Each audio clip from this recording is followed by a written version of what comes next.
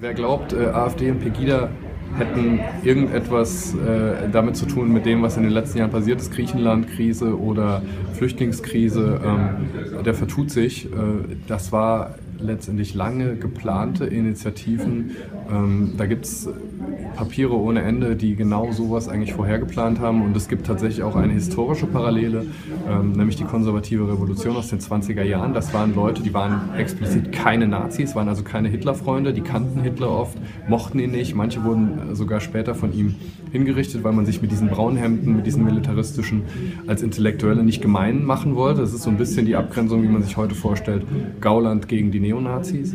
Ähm, und, äh, aber faktisch haben die damals auch faschistisches Gedankengut vertreten. Die haben massiv mitgeholfen, äh, die Weimarer Republik zu desavouieren, ähm, die Demokratie dort anzugreifen.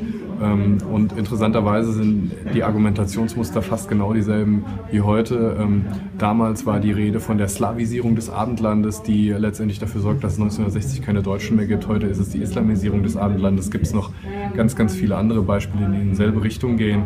Edgar Julius Jung, Arthur Möller von den Bruck, ähm, Karl Schmidt äh, oder auch äh, Spengler, Oswald Spengler mit dem Untergang des Abendlandes. Das sind so Sachen, wenn man die heute nochmal liest, erschrickt man, wie viele Parallelen es da zu dem gibt, was heute von AfD und Pegida gesagt wird.